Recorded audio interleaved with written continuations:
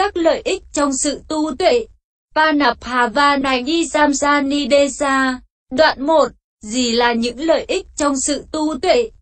Xem chương 14, đoạn 1 Có hàng trăm lợi ích không thể nào nói cho giết, nhưng vắn tắt là những điểm này.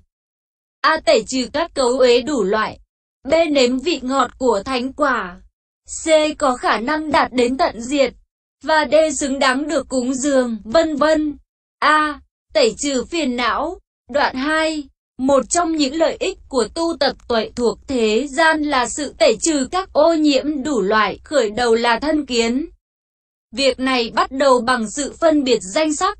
Và một trong những lợi ích của tu tập tuệ xuất thế là tẩy trừ vào sát na đạo lộ những ô nhiễm đủ loại kể từ những kiết sử. Như xét đánh tan tảng đá, như gió tạt lửa cháy rừng, như mặt trời xua tan bóng tối. Cũng vậy tuệ được tu tập, đoạn tận rừng phiền não thâm căn, nguồn gốc mọi khổ sầu. Đấy hạnh phúc ngay đời này, mà con người có thể biết đến. B. Nếm vị ngọt của thánh quả. Đoạn 3. Không những tẩy trừ phiền não, tuệ tu tập còn có lợi ích là được vị ngọt của thánh quả. Quả dự lưu vân vân, kết quả của ả sa môn hạnh được gọi là thánh quả. Vị ngọt của nó được nếm khi tuệ sanh khởi trong lộ trình đạo tâm và quả tâm. Tuệ sanh trong lộ trình tâm thuộc đạo đã được trình bày xem chương 22. Đoạn 4 Có người nói rằng quả chỉ là sự đoạn trừ các kiết sử, không gì khác nhưng đoạn kinh sau đây có thể trích dẫn để cho người ấy thấy họ đã sai. Thế nào tuệ tịnh chỉ các nỗ lực là trí về quả? vào sát na thuộc dự lưu, đạo, tránh kiến theo nghĩa thấy ngoi lên khỏi tà kiến, khỏi những ô nhiễm và các uẩn do tà kiến sanh. Bên ngoài, nó ngoi lên khỏi tất cả tướng, tránh kiến sanh vì sự tịnh chỉ của nỗ lực ấy. Đây là quả của đạo lộ PS. Y 71 và điều này cần trích dẫn chi tiết. Lại nữa những đoạn như bốn đạo và bốn quả các pháp này có một đối tượng vô lượng. PTN Y 227 bản miến điện những câu này thiết lập nên ý nghĩa ở đây. Đoạn 5 Tuy nhiên, muốn chứng minh thế nào tuệ sanh khi chứng quả có loạt vấn đề sau đây. Gì là đắc quả? Ai đắc quả? Ai không đắc quả? Tại sao họ đắc quả?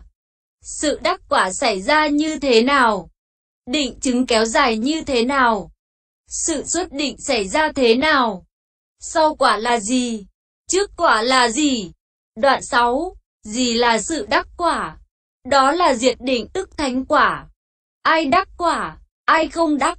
Không phàm phu nào đắc quả được, việc ấy vượt ngoài tầm của ả phàm phu. Chỉ có các bậc thánh đắc quả, vì ở trong tâm của thánh. Những vị đã đạt đến một đạo lộ cao không đắc một quả thấp hơn đạo lộ, vì trạng thái của mỗi vị tuần tự thanh tịnh hơn bậc ở dưới và những người chỉ đạt đến một đạo lộ thấp cũng không đắc quả cao hơn đạo lộ vì nó vượt ngoài tầm.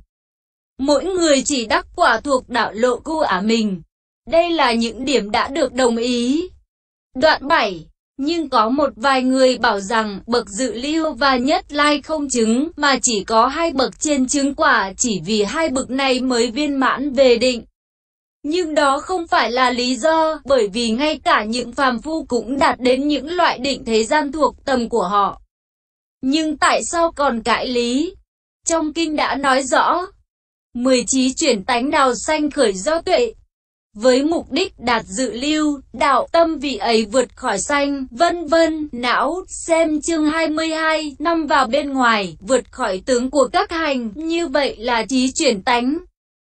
Với mục đích đắc dự lưu quả vân vân, với mục đích đắc nhất lai đạo vân vân, với mục đích đắc nhất lai quả vân vân, với mục đích đắc bất hoàn đạo vân vân, với mục đích đắc bất hoàn quả vân vân, với mục đích đắc a la hán đạo vân vân, với mục đích đắc a la hàn quả vân vân, với mục đích đắc không quả vân vân với mục đích đắc vô tướng chú, vị ấy vượt khỏi sanh, vân vân, não, và bên ngoài thì vượt khỏi tướng các hành, nên gọi là chuyển tánh PS.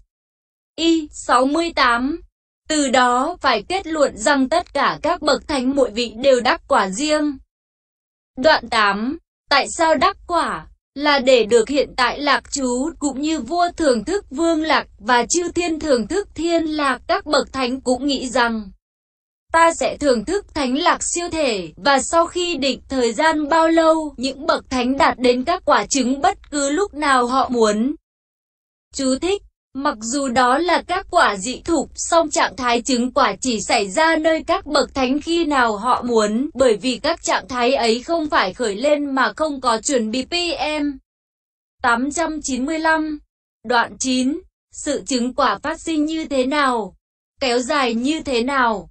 Sự xuất định ích, y ra làm sao? Trước hết sự chứng quả xảy ra vì hai lý do không tác ý một đối tượng nào ngoài Niết Bàn, và tác ý đến Niết Bàn, như được nói. Hiền giả có hai duyên cho sự đắc vô tướng giải thoát.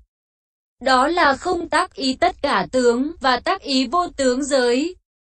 Trung Bộ Kinh Y 296 Đoạn 10 Tiến trình đắc quả như sau Một bậc thánh đệ tử khi muốn tìm trạng thái đắc quả, hãy đi vào độc cư vị ấy phải thấy các hành bằng tuệ quán sinh diệt vân vân. Khi quán tuệ đã đến giai đoạn thuận thứ thì trí chuyển tanh xanh khởi với các hành, làm đối tượng. Chú thích, tại sao chuyển tánh không lấy niết bàn làm đối tượng ở đây như khi nó đi trước đạo lộ? Bởi vì các quả tâm không tương ứng với một ngõ ra như ở trường hợp đạo lộ. Vì có nói, các pháp nào là ngõ ra? Chính là bến đạo không, gồm quả PM. 895.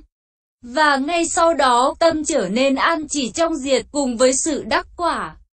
Và ở đây chỉ có quả, không phải đạo, khởi lên ngay cả nơi một bậc hữu học bởi vì khuynh hướng vị ấy là chứng quả. Đoạn 11 Nhưng có vị trong tu viện Anuradhapura bảo rằng, khi một bậc dự lưu khởi sự trên đường tuệ quán, nghĩ, ta sẽ đạt đến trạng thái đắc quả, thì vị ấy trở thành một bậc nhất lai, và một vị nhất lai thành bất hoàn. Nên nói với những vị ấy, nếu thế thì một vị bất hoàn thành A-la-hán, và một A-la-hán thành một bích chi Phật, và bích chi Phật cũng thành Phật. Vì lẽ ấy, và vì nó trái với kinh văn trích giận ở trên, cho nên không thể chấp nhận. Chỉ có điều này được chấp nhận là chính quả chứ không phải đạo khởi lên ngay cả nơi một bậc hữu học. Và nếu đạo lộ vị ấy đã đạt mà có sơ thiền thì quả vị ấy cũng có sơ thiền khi nó sanh khởi. Đạo có nhị thiền thì quả cũng có nhị thiền. Với các thiền khác cũng vậy. Trên đây trước hết là nói sự đắc quả xảy ra thế nào. Đoạn 12, nó được làm kéo dài theo ba lối, do câu này hiền giả có ba duyên cho sự kéo dài của vô tướng giải thoát. Không tác ý tất cả tướng, tác ý vô tướng giới, và quyết định trước trung bộ kinh y 296-7. Ở đây, quyết định trước có nghĩa là định thời hạn trước khi nhập định đắc quả. Chú thích, ví dụ, khi mặt trăng hay mặt trời đã lên đến chỗ ấy, ta sẽ xuất vì do quyết định như ta sẽ xuất vào một giờ nào đó mà sự đắc quả kéo dài đến đó. Đoạn 13 Sự xuất định đắc quả xảy ra theo hai lối, do câu. Hiền giả có hai duyên cho sự ra khỏi vô tướng giải thoát. Tác ý tất cả tướng, và không tác ý đến vô tướng giới, Trung Bộ Kinh Y 297. Ở đây, tất cả tướng là tướng sắc thọ tưởng hành thức. Dĩ nhiên, không phải tác ý tất cả đó một lượt nhưng nói như vậy để bao gồm tất cả. Vậy, sự xuất định đắc quả phát sinh nơi hành giả khi vị ấy tác ý bất cứ gì đối tượng của hữu phân. Chú thích, hành giả được xem là xuất khởi định đắc quả vừa khi tâm hữu phần khởi lên, nên nói. Vị ấy tác ý bất cứ gì làm đối tượng của hữu phân. Nghiệp vân vân gọi là đối tượng của hữu phân. Xem chương 17, 133. Đoạn 14. Cái gì kế tiếp quả? Quả kế tiếp quả hoặc hữu phần kế tiếp quả. Quả kế tiếp cái gì? Có 4. A quả kế tiếp đạo B quả kế tiếp quả C quả kế tiếp chuyển tánh và D quả kế tiếp phi tưởng phi phi tưởng xứ.